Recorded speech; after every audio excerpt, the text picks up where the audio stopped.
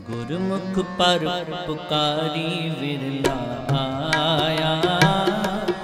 ਵਿਰਲਾ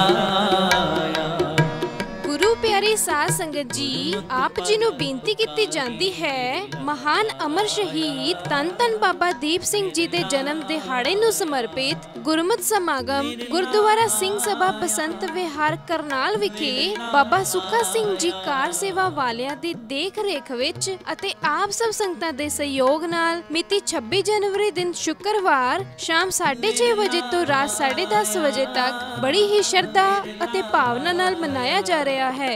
ਪਹੁੰਚ ਰਹੇ ਰਾਗੀ ਅਤੇ ਪ੍ਰਚਾਰਕ ਜਥੇ ਆਪਣੇ ਰਸ ਭਿੰਨੇ ਕੀਰਤਨ ਅਤੇ ਅਨਮੋਲ ਬਚਨਾਂ ਰਾਹੀਂ ਆਪ ਸਭ ਨੂੰ ਗੁਰ ਇਤਿਹਾਸ, ਗੁਰ ਚਰਨਾਂ ਨਾਲ ਜੋੜਨਗੇ। ਆਪ ਸਭ ਸਮੇਂ ਸਿਰ ਪਹੁੰਚ ਕੇ ਹਰਜਸ ਸਰਵਨ ਕਰਕੇ ਗੁਰੂ ਘਰ ਦੀਆਂ ਰੌਣਕਾਂ ਵਧਾ ਕੇ ਆਪਣਾ ਜੀਵਨ ਸਫਲਾ ਕਰੋ ਅਤੇ ਗੁਰੂ ਘਰ ਦੀਆਂ ਖੁਸ਼ੀਆਂ ਪ੍ਰਾਪਤ ਕਰੋ ਜੀ। ਇਹ ਸਾਰਾ ਪ੍ਰੋਗਰਾਮ ਮੰਨੂ ਪ੍ਰੋਡਕਸ਼ਨ ਦੇ ਅਫੀਸ਼ੀਅਲ YouTube ਚੈਨਲ ਅਤੇ Facebook ਪੇਜ ਤੇ ਲਾਈਵ ਦਿਖਾਇਆ ਜਾਵੇਗਾ। ਬੇਨਤੀ ਕਰਤਾ ਦਾਸ ਬਲਵਿੰਦਰ ਸਿੰਘ ਜੀ ਕਰਨਾਲ ਅਤੇ ਗੁਰਦੁਆਰਾ ਪ੍ਰਬੰਧਕ ਕਮੇਟੀ ਬਸੰਤ ਵਿਹਾਰ।